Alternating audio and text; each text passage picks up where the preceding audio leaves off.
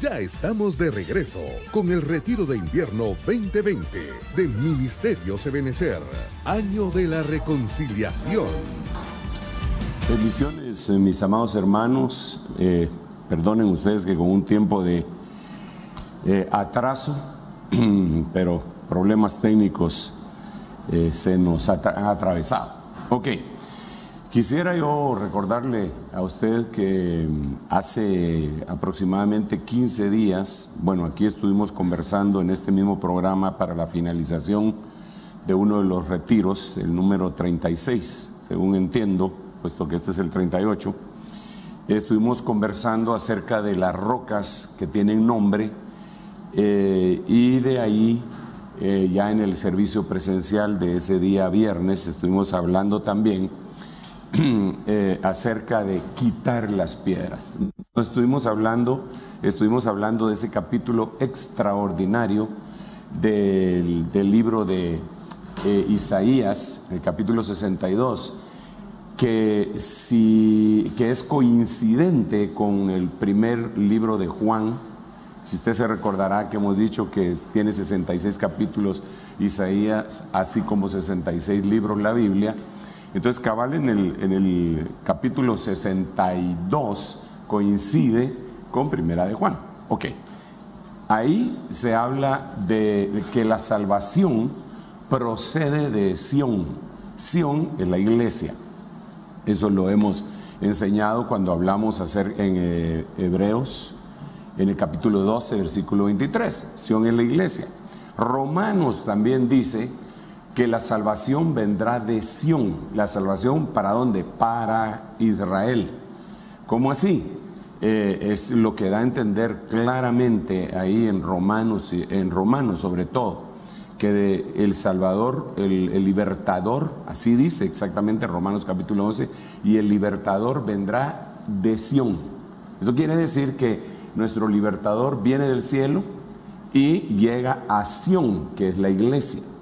Luego de ahí su segundo paso va a ser hacia, hacia Israel. Eh, para manifestación, porque entendemos que cuando se lleva a la iglesia ya en su segunda venida epifánica, gloriosa, manifiesta, pues ya viene del cielo con todos sus santos, ¿verdad? Yo quisiera poder tener una, una pizarra para poder explicar esto, lo que estoy diciendo ahorita, pero pues ya le conté que tenemos algunos problemas técnicos, así que le ruego que me ayude. Entonces, con su imaginación, para una pizarra ahí. Y entonces el Señor viene y se le manifiesta a la iglesia en su venida secreta. Y después dice Romanos capítulo 11 que desde ahí, desde Sión, la iglesia, y el siguiente paso es Israel, la semana 70 de Daniel. Ok, en este capítulo 62, versículo 10, que ahí fue donde nos detuvimos, porque ahí eh, eh, si leemos todos los versículos que están contenidos en el capítulo 62, es una riqueza extraordinaria. Ese es el versículo que dice, por amor a Sión, por amor a Sión no callaré. Impresionante, ¿ah? por amor a Sión no callaré. Y ahí es donde dice, voy a poner centinelas que ellos van a estar, no van a descansar. Los centinelas van a estar viendo. Eh, y Sión, quiero repetir, Sión es figura de la iglesia según Hebreos capítulo 12. no, no, no nos hemos acercado al monte Sinaí, sino al monte Sión. Ok, entonces, desde hace 15 días estamos eh, desgranando eh, qué es verdaderamente eh, la forma, la estrategia como Dios va a equipar a la iglesia. Nos detuvimos en el versículo 10 porque ahí hay cinco cosas de la preparación y yo se las voy a ir enseñando, recordando pues aquí en la, eh, en la pantalla. Entonces tenemos acá preparando el encuentro, así se llama esta, esta este tema. Pero eh, aquí este es el versículo que es el que estamos viendo, Isaías 62, 10. Eh, permítame que se lo vuelva a enseñar. No, eh, lo he repetido por 15 días y, y, esto no se agota, pues. Pasad, pasad por las puertas. Número uno, abrid camino al pueblo. Número dos, construid, construid calzada. Número tres, Quitad piedras. Número cuatro, alzad estandarte sobre los pueblos. Eh, mire, yo he estado haciendo un sondeo y él he estado preguntando a algunos hermanos eh, cuál es el versículo que he estado mencionando durante los últimos 15 días. Y, hermanos, es increíble que algunos no, no, no se recuerdan. Digo yo, estos o no me pusieron atención, o no les interesa, o no están siendo, eh, o no están fluyendo en lo que Dios nos está enseñando. Pero son cinco cosas que aparecen precisamente en Isaías capítulo 62, verso 10. Entonces yo me he tratado de, auxiliar para que de una manera didáctica poderlo eh, explicar. Y entonces por eso les he hecho este esquema que ustedes pueden ver en pantalla y que ustedes, algunos ya le tomaron foto, me imagino, ¿verdad? Eh, en donde están preparándonos para el encuentro, que es el tema general, y las cinco cosas que acabamos de leer, pasar por las puertas, abrir camino, construir calzada, quitar las piedras y alzar estandarte. Así que eh, en base al, sondeo que yo he hecho de mucha gente que le he preguntado, me, siento en libertad de volvérselo a exponer. Pero de aquí eh, está el pasar por las puertas. Es decir, en este esquema de pasar por las puertas que está ahí con letras eh, celestes, acá es en donde le vamos a seguir acercando la lupa. Entonces, pasar por las puertas. Esto es todo lo que hemos estado enseñando por el momento, aunque no lo hemos concluido. Eh, entonces, mire usted todo lo que dice ahí. Cuando hablamos de pasar por las puertas, lo, vamos a, ver acá nuevamente. Vamos a ver, eh, déjeme, es esto, ¿verdad? Aquí, pasar por las puertas, usted lo está viendo ahí en la pantalla con el pointer que, con el cual estoy señalando. Luego, abrir caminos, eh, estuvimos hablando de los caminos del hombre y de los caminos de Dios. Así que no hemos terminado ni los caminos de Dios ni los del hombre, ni esto, pero vamos avanzando poco a poco. Construir calzada, bueno, eh, está acá, esto es de quitar las piedras. Yo creo que este fue el único tema que más o menos terminamos y alzar estandarte, que ya es el arrebatamiento en el cual está representado aquí el ministerio apostólico. Es decir, el de acá, eh, que en donde mira usted el pointer, es el ministerio evangelístico. El de acá, de los caminos, este de acá, ese es el pastoral. El de acá que está vinculado aquí en todo esto, mira el pointer, es el magistral, el de acá es el profético, quitar las piedras, ministrar, y el de acá es el apostólico.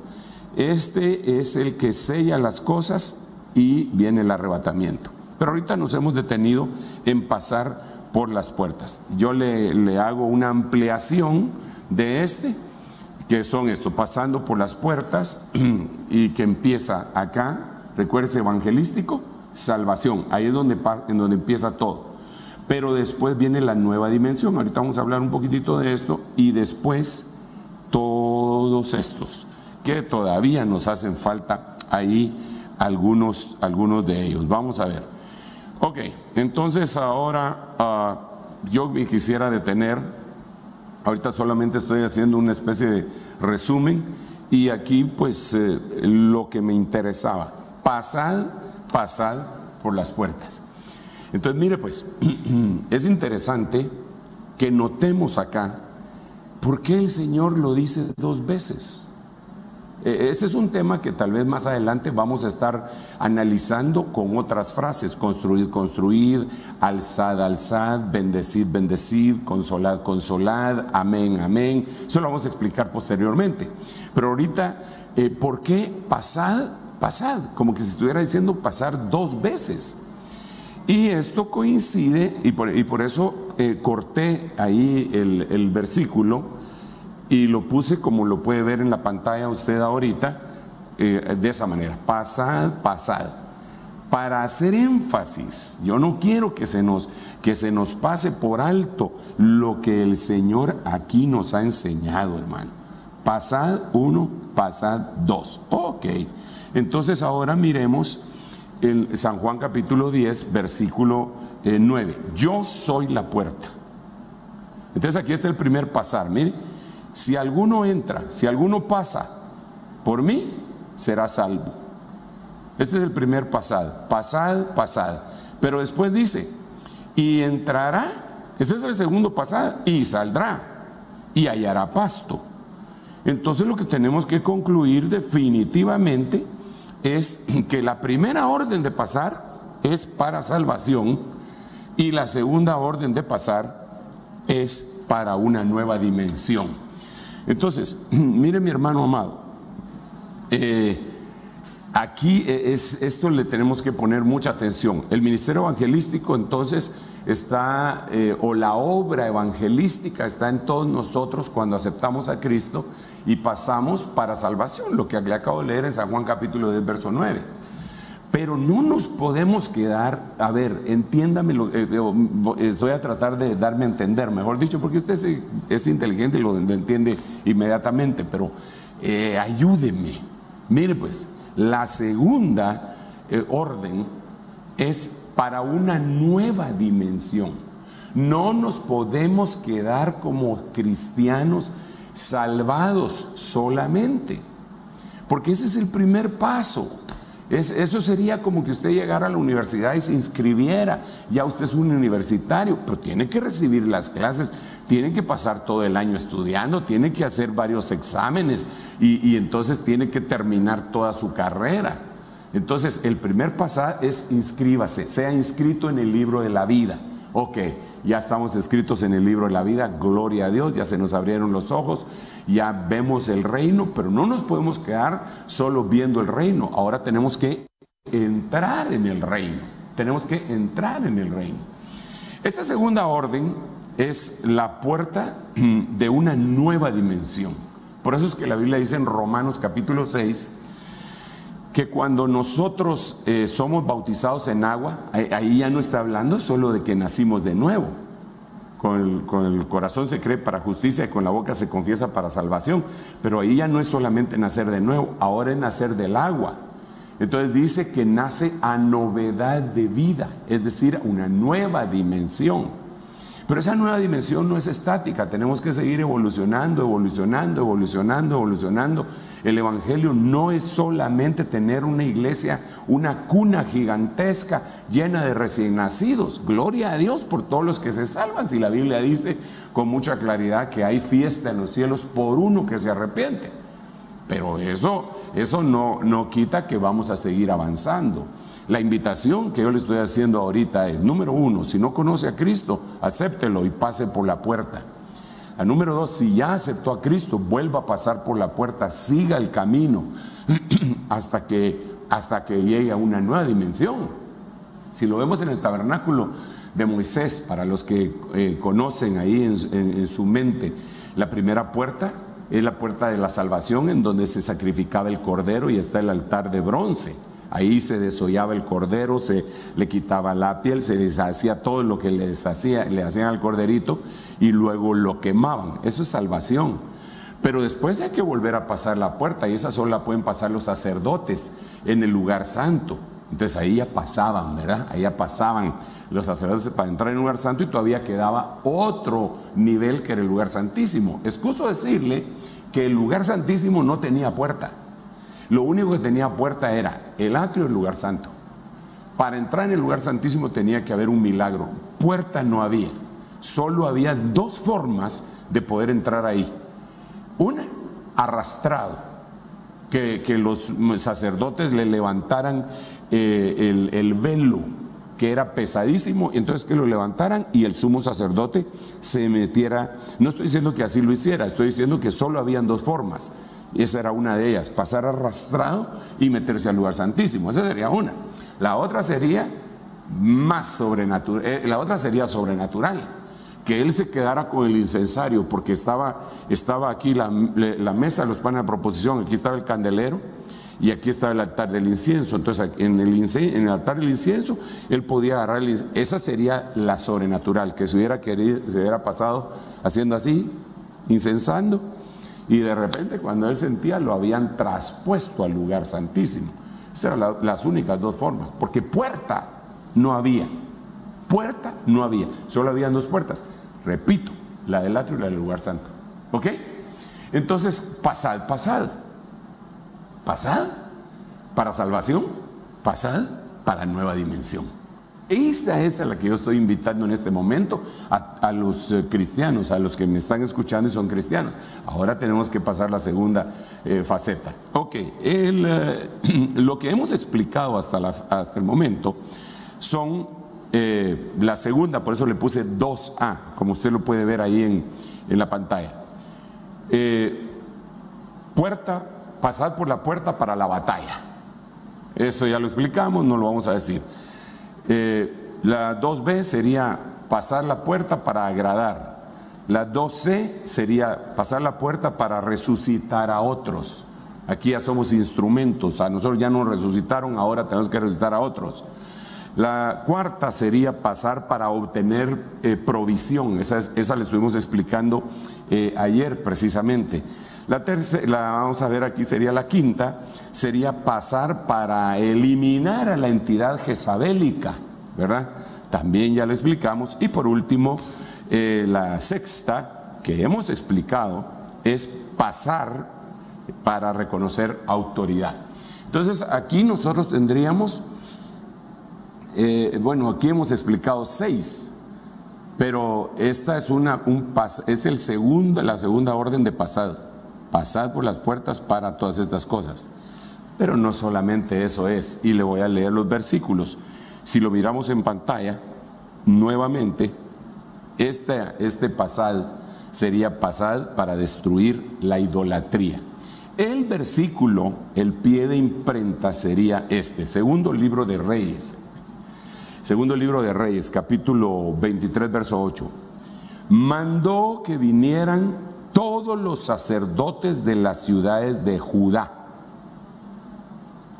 Y voy a leer nuevamente, BDA, segundo libro de Reyes 23.8, mandó que vinieran todos los sacerdotes de las ciudades de Judá, profanó los santuarios de los altosanos, de los lugares altos, ¿verdad? Aquí lo pone altosanos, en los que ellos habían ofrecido sacrificios, los destruyó, desde Gibeá hasta Berseba y derribó el santuario de los sátiros que había en la puerta de Josué.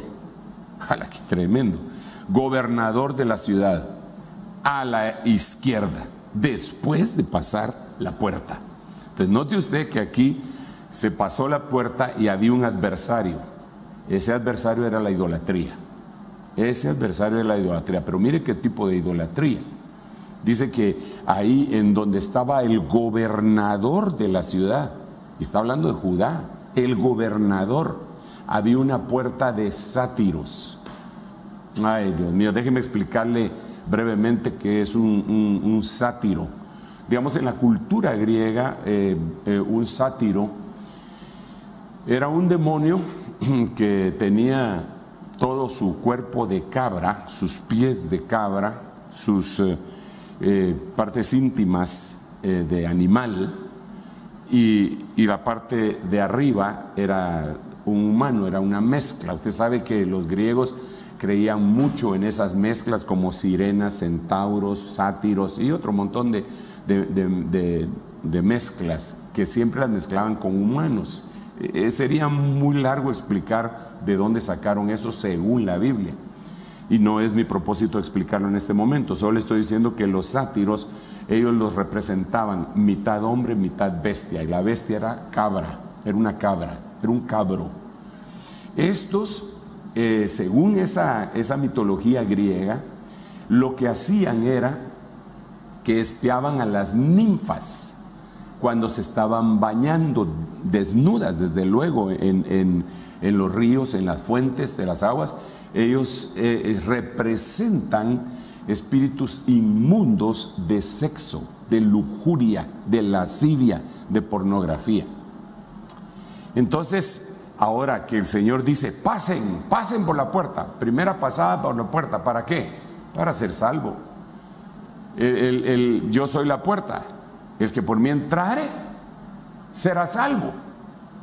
Eso es lo que dice San Juan 19. Pero después viene el otro pasar. Eh, si, si pasa por mí, si entra por mí, entrará Es el segundo. Y saldrá y hallará una nueva dimensión. Entonces quiere decir que si nos quedamos en el primer pasar solamente como salvos, eh, eh, la idolatría que podría estar tipificada aquí, eh, de idolatría hacia el sexo. Por eso le expliqué lo que quería decir los, los sátiros. Y es muy interesante que estaban, si, si volvemos a ver el versículo en la pantalla, y mire cómo dice la parte final, derribó el santuario de los sátiros que había en la puerta de Josué, gobernador de la ciudad. Entonces, mire a dónde se iban a, meter, eh, a dónde iban a atacar, hacia el gobernador, hacia las potestades mm, más elevadas. Eso coincide con lo que dice Ezequiel capítulo 8, que cuando agarran a Ezequiel y lo meten al templo, eh, después de estar en el atrio y después lo meten en el templo, eh, mira los sacerdotes y los ancianos teniendo una especie de culto de pornografía, ¿verdad? El culto idolátrico, pagano de pornografía. Entonces, eh, este, este tipo de problema es muy común, demasiado común, y es muy común sobre todo en este tiempo que nosotros estamos viviendo en la actualidad, mi estimado hermano. Eh, usted, eh, todos, todos, todos ahora, la mayoría, tenemos eh, pues móviles, teléfonos celulares y, y todos están conectados a la red. Y es tan fácil a un clic, a la distancia de un clic o de dos clics, acceder o accesar a páginas que no son buenas, pero que ahí están como que fueran buenas, ¿verdad? Y, entonces eh, eso puede estar afectando a la misma cristiandad a la cual el Señor le está diciendo, ok, tú ya, ya pasaste la primera vez y eres salvo, ahora vuelve a pasar por la puerta, yo te voy a liberar de eso. Yo sé que no te agrada, yo sé que te esclavizaron con esa idolatría. Vuelve a pasar por la puerta que soy yo y vas a hallar nuevos pastos, vas a ser libre. La pornografía, según dicen los, eh, los expertos, afecta las mismas áreas del cerebro que afecta la cocaína, heroína y todas las drogas eh, eh, que causan adicción. Todo lo que tiene adicción afecta una parte del cerebro. Eh, eso lo han estudiado ellos. Digamos, videojuegos, eh, televisión, eh, celular, drogas y drogas musicales también, ¿verdad? Que, las, que las venden, que, son, que entran por los, por los oídos. Otro tipo de drogas que entran por los ojos, que dentro de las cuales estaría la pornografía, afectan exactamente el mismo lugar del cerebro. Entonces se vuelve una adicción. Entonces la gente sabe que no está haciendo bien.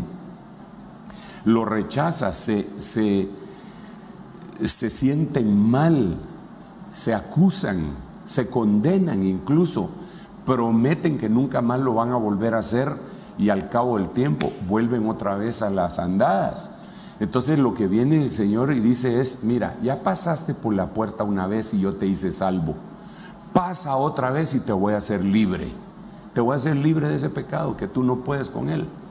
Entonces, eh, por eso digo que pasar la puerta por segunda vez también representa la destrucción de la idolatría hacia la situación de índole sexual.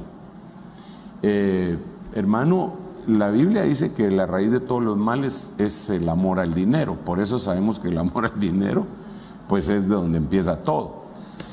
Si no dijera eso la Biblia, yo creo que cualquiera que le pregunten diría que la raíz de todos los males sería la cuestión sexual. Pero la Biblia dice que es el amor al dinero. Es una especie de lujuria también. Eh, pero que no es exactamente la situación de índole sexual. Pero si nosotros le hacemos un análisis a la cuestión de, índole sexual, miremos Génesis capítulo 6. Los ángeles, los hijos de Dios, cayeron, abandonaron sus moradas eh, celestiales, su cuerpo celestial. ¿Por qué? ¿Para qué lo, por qué abandonaron sus, sus moradas? Así dice la Biblia. Porque en la Biblia, en el Nuevo Testamento, eh, se le llama con la palabra griega oiketerion. Ellos, ellos abandonaron la morada celestial, el cuerpo celestial, ¿para qué? Para poderse meter sexualmente con las mujeres, con las hijas de los hombres que les nacieron en Génesis capítulo 6. Ángeles cayendo por, tipo, por cuestiones de tipo sexual. Miremos, miremos a, otro, Salomón, el, el, más sabio de todos. ¿Por qué cayó? ¿Por qué cayó? Tuvo mil mujeres, mil mujeres, 700 reinas y 300 concubinas, mil, mil mujeres. Entonces, el, el más sabio cayó por una cuestión de índole sexual. David ¿Cuál es el pecado que se le atribuye a David? Incluso dice que él fue conforme al corazón de Dios y nunca le falló a Dios. Y hace y dice el versículo, excepto en el caso de la mujer de Urías Eteo. O sea, el, caso que le atribuyen de donde él eh, eh, escribió el Salmo 51, purifícame con hisopo porque he pecado contra ti, fue una cuestión de índole sexual. Entonces ahora tenemos ángeles, tenemos lo que dice Judas y Pedro, los de Sodoma y Gomorra también cayeron por eso, ángeles, Sodoma y Gomorra, Salomón, David, ¿y dónde deja el más fuerte de todos que vendría a ser Sansón? Él, usted sabe que la debilidad de él precisamente era el sexo. Entonces, Dios quiere hacernos libres de todo, de todo, de todo, de todo. Por eso, por eso es interesante que cuando ya, ya habían creído en Jesús, los judíos que están descritos en, en San Juan capítulo 8, el Señor les dijo, que si conocían la verdad, habían unas cosas antes de conocer la verdad, van a ser mis discípulos y conoceréis la verdad. La verdad os libertará. Entonces, no solamente es pasar por la puerta de la salvación, es pasar por la puerta de la liberación. Y esa puerta de la liberación tiene que ver con la idolatría, de la idolatría de tipo sexual. Entonces le, le añadiríamos aquí, le añadiríamos un puesto número 7. Y ahora vamos siete pasadas de puerta, como que fueran las siete zambullas de Naamán. Miremos otro versículo, eh, lo vamos a ver, para evaluación, para evaluación. Miremos dónde está este. Nehemías capítulo 2, versículo 3. Salí de noche, salí de noche por la puerta del valle. Fíjese, pasó por la puerta pasó por la puerta, pasó por la puerta del valle. Recuérdese, estamos ahorita enfocados en pasar la segunda vez por la puerta. Entonces volvamos a la lectura en la pantalla. Salí de noche por la puerta del valle y pasé por la fuente del dragón y por la puerta del muladar y estuve inspeccionando los muros de Jerusalén que estaban destruidos y sus puertas consumidas por el fuego.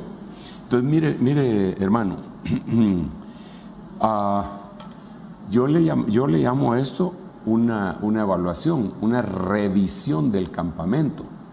Cuando nosotros vemos a Josué, eh, pues eh, en la conquista de Jericó le fue re bien, pero la siguiente batalla, cuando fueron a Jai, perdió y entonces él se puso a orar y a llorar, Señor, ¿por qué nos trajiste acá? Mira, ahora nos van a hacer pedazos nuestros enemigos. Se puso a llorar y el Señor lo paró. Y le dijo más o menos las siguientes palabras, deja de estar orando. Este se lo interpreto, este no es tiempo de orar, es tiempo de actuar. Porque hay gente que ora y ora, ora y no, y no actúa. Y es oración y pedrada, oración y acción. Entonces le dijo, hay pecado en Israel en otras palabras, tienes que revisar tu campamento, pero lo tienes que hacer con sinceridad. Entonces él mandó a llamar a todos y, pidiendo ayuda eh, al Señor y llegaron a la conclusión que en la tribu de Judá había alguien que había desobedecido. Ya dejar, exoneraron a las demás tribus y solo acercaron a la tribu de Judá. Vamos a ver, venga para acá, tribu de Judá. Díganme, y, de ahí salió eh, pues Acán, Acán. Y entonces lo llamó Acán de la tribu de Judá. Vení para acá. Eres de la tribu de Judá, ¿verdad? Sí, soy de la tribu de Judá. O sea, tu, tu expertise es la alabanza. Sí, yo soy de Judá, alabanza. Ok, alaba a Dios. Alaba a Dios. Y cuéntame, ¿qué fue lo que hiciste? Entonces, cuando el otro alabó, no alabó bien, ¿no? Y era de la tribu de Judá. Y esto nos muestra que, el cántico nuevo, la alabanza que nosotros podamos tener, eh, determina de alguna manera la libertad, esa libertad que tenemos determina si hemos estado siendo limpiados por la palabra, por el Espíritu, si nos hemos estado ministrando. Resultó culpable acá, confiésame lo que hiciste. Y entonces soltó la lengua. No, es que yo vi un lingote de oro, un ciclo de plata y un manto babilónico, y pues los codicié y me los agarré. Me los agarré, creí que no sea, nadie se iba a dar cuenta, solo Dios, ¿va? Eh, y entonces lo, lo, escondí, lo metí en la tierra. Dice que tremendo, lo metí en la tierra. La, tierra siempre significa el, lo, terrenal de plano, en el centro de su tienda, ahí lo, ahí lo tengo guardado. Vamos, lo vamos a sacar. Y lo sacan y usted sabe, el resultado final para la familia de Acán fue de muerte. Mataron a Acán, se murió la, la familia también, pero el pueblo eh, sufrió una, batalla, una pérdida en la batalla bien tremenda.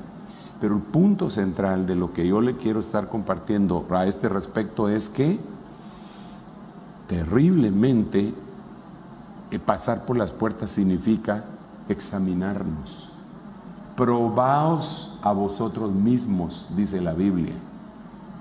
Probaos. Cuando venimos a la Santa Cena, que ya mañana, mañana sábado le entramos y domingo, cuando venimos a la Santa Cena, hermano amado, bendito de Dios, es probarnos a nosotros mismos, es pasar por la puerta para una evaluación. Y eso dice, dice Nehemías que él lo hizo solo, no lo acompañó nadie.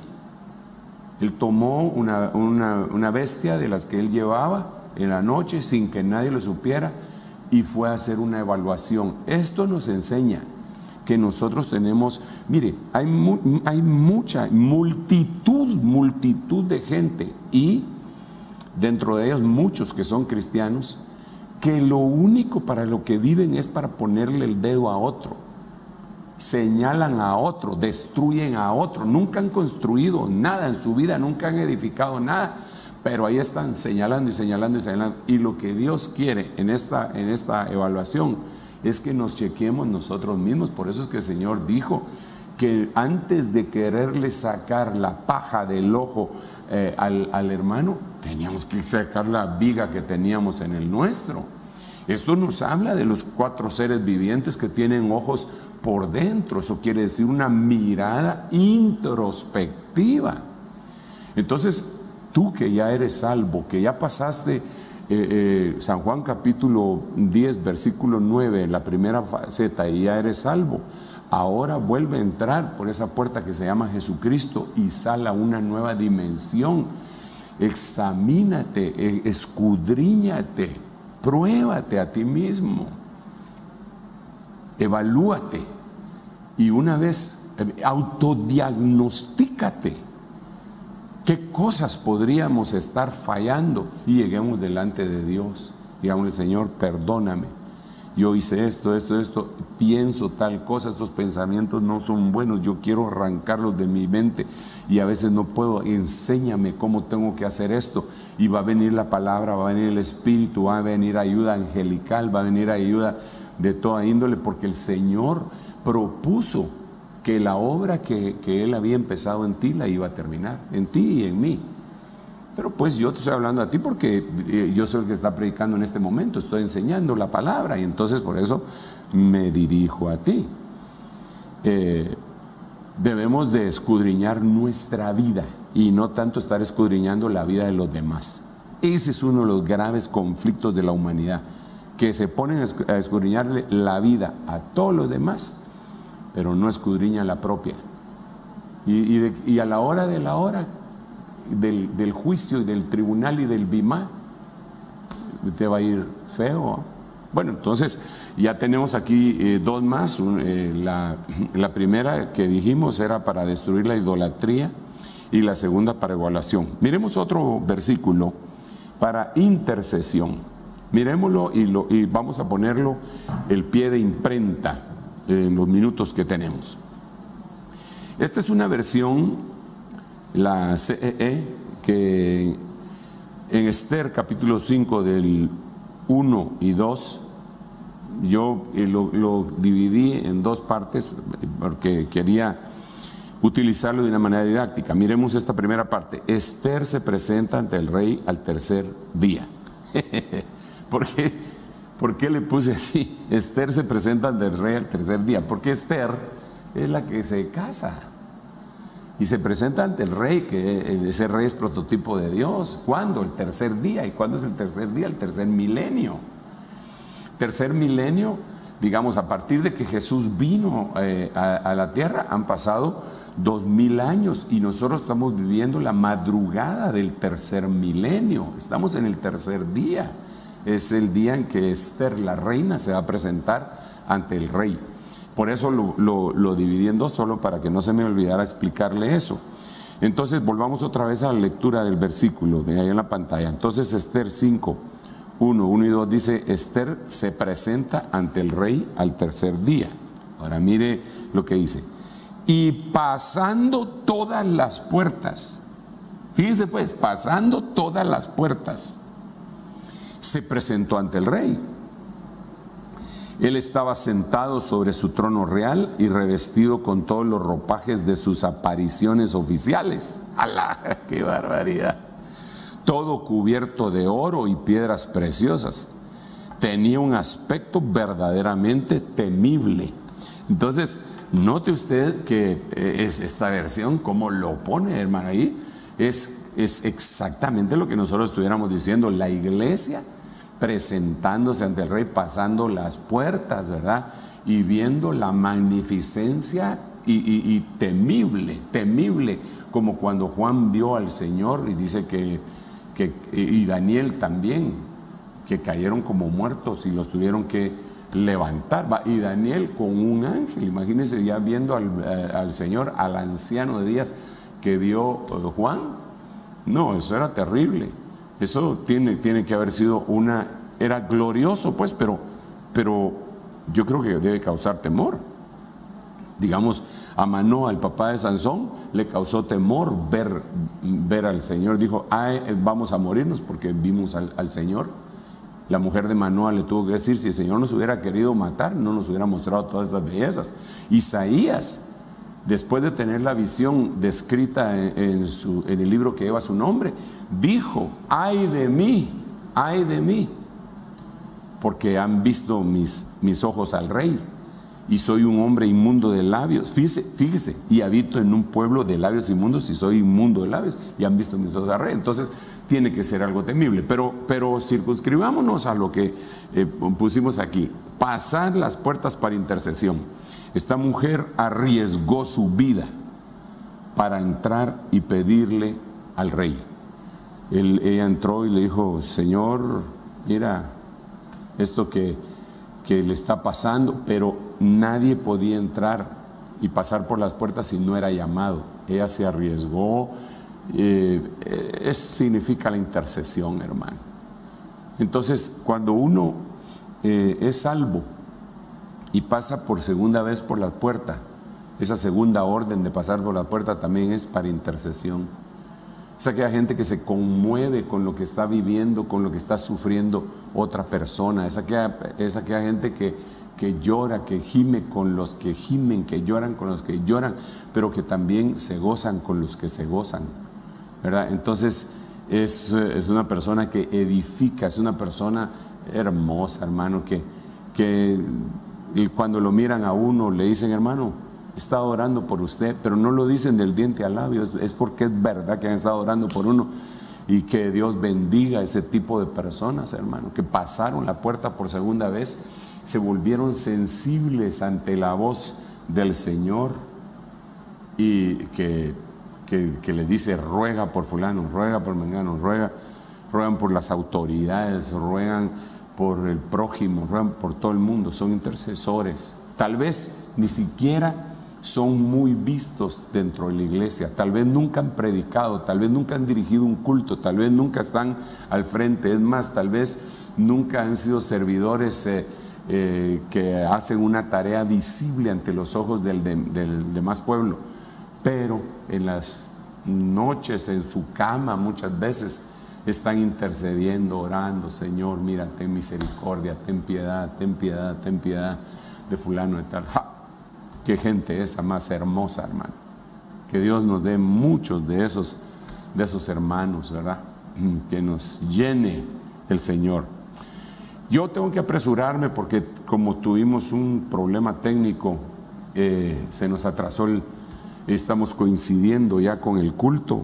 En cuatro minutos empieza eh, la alabanza y, pues eh, en media hora tengo que estar predicando allá.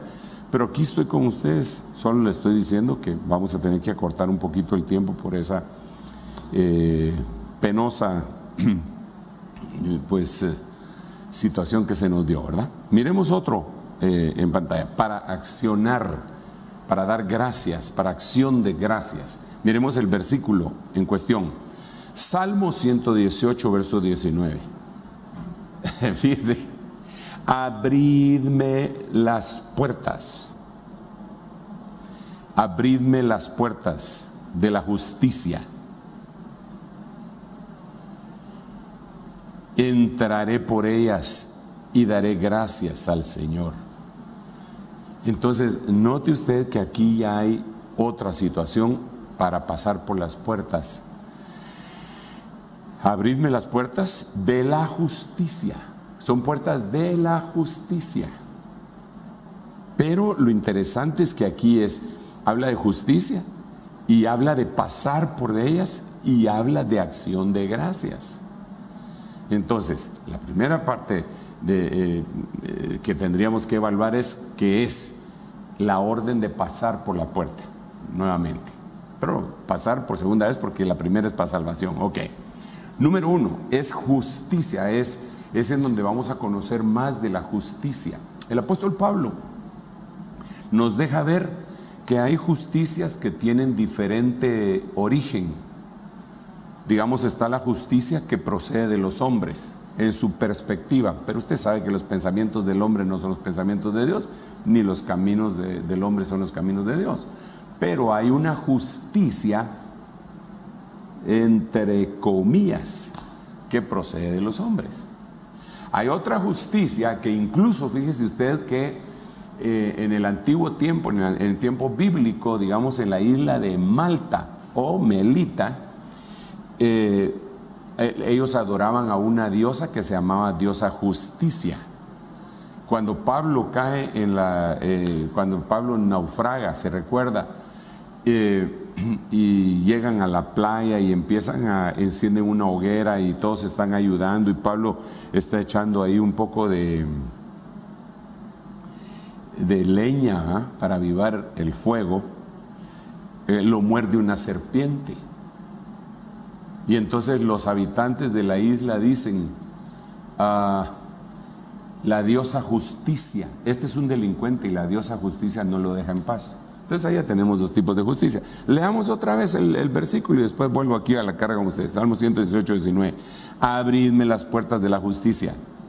Entraré por ellas y daré gracias al Señor. Entonces mire pues, ya llevo dos justicias eh, mencionadas, no explicadas, porque para explicar esas se lleva bastante tiempo. La tercera justicia de la cual habla Pablo es la justicia que, que procede de la ley. Y él dice, yo quiero ser hallado, Filipenses capítulo 3, yo quiero ser hallado en la justicia, pero no en la justicia mía que proviene de la ley. Entonces había una justicia que provenía de la ley de Dios. Entonces él dice lo siguiente, yo quiero ser hallado en la justicia que procede de Dios sobre la base de la fe la fe que justifica, justificados pues por la fe. Le creyó a Dios y le fue contado por justicia. y fue llamado amigo de Dios. Entonces, eh, abrirme las puertas de la justicia es abrir la puerta de la fe. Ábrame la puerta de la fe porque esa va íntimamente ligada con la justicia. Aleluya. Y entonces, esa es otra puerta que nosotros tenemos que atravesar. La puerta de la justicia, pero la justicia eh, que proviene de, de Dios en base a la fe. En base a la fe. Mira, si tú estás tratando de atravesar la puerta de la justicia con la justicia de los hombres, o con peor aún con la justicia esa que adoraban los de la isla de Melita o Malta, o con la justicia que proviene de la ley de Moisés, estás mal. Tienes que ser justificado por la fe, la justicia que procede de, de Dios por medio de la fe. Pero ahora resulta que no se queda ahí. Ahora resulta que mm, al entrar por esas puertas, al pasar por esas puertas, viene la justicia y, el agradecimiento, la gratitud, la acción de gracias. Acción de gracias. Ay, hermano, ahí nos tendríamos que tener mucho tiempo. Eh, yo tendría que decirle que el accionar, el accionar eh, en base a la, gratitud es una de las cosas que, afectan más, que afectan positivamente incluso nuestra mente. Porque la gente está pensando en la bendición de Dios que le ha derramado el Señor a uno, en vez de estar pensando, por ejemplo, en lo que Dios le dio a otro.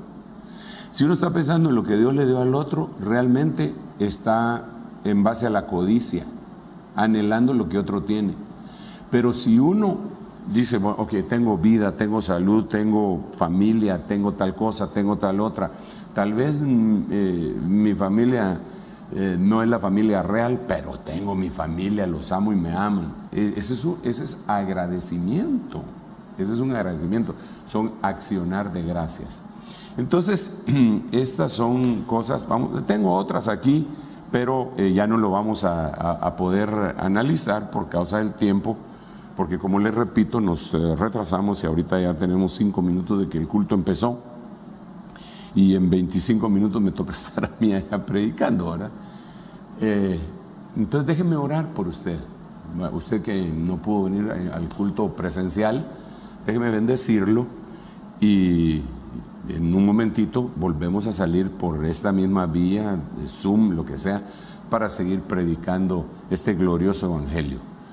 Padre, en el nombre de Jesús, estoy bendiciendo a tu pueblo, aquellos que han atendido este mensaje, Señor, por los diferentes medios de comunicación masiva, ya sea Zoom, redes sociales, televisión, radio, eh, hasta donde llegue, hasta donde alcance mi voz en el nombre de Jesús estoy bendiciéndoles. Te ruego, Señor, que tú les bendigas abundantemente a cada uno de ellos. Te doy gracias, Señor, por este retiro eh, número 38, Señor, la semana número 38 de este retiro. Gracias por habernos dado tanta abundancia de disposición de palabra que traemos delante de ti para darle el alimento a su tiempo a tu pueblo. En el nombre de Jesús, tuya la gloria, tuya la honra, tuya la alabanza. Amén, amén y amén.